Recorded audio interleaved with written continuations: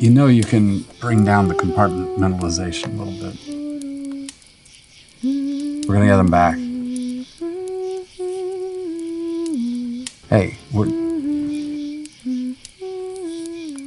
What? What? If I say too many words, I'm gonna cry.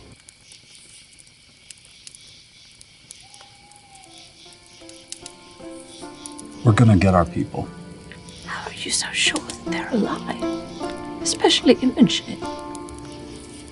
What if she just got, I don't know, vaporized or blasted into space? I don't know. She got blasted into space, we'll go to space. We are going to figure it out because it's what matters.